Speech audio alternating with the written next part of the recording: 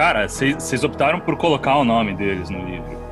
Votamos, pode me processar, eu não tenho nada. Minha declaração de renda tá lá, 200 bitcoins, na, minha, na, na porra eleitoral, tá na internet pra quem quiser ver. Pode vir buscar, não é isso? Eu não tenho nem carro, eu ando com arma. Eu tenho armas e bitcoin, eu tenho minha declaração de imposto de renda, pode vir buscar.